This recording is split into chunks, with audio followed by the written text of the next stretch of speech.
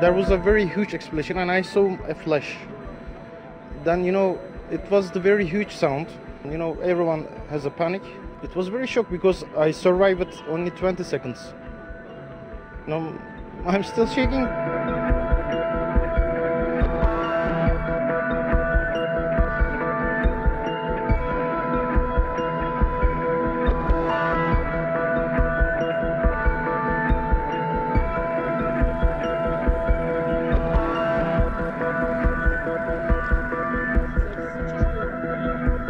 thank you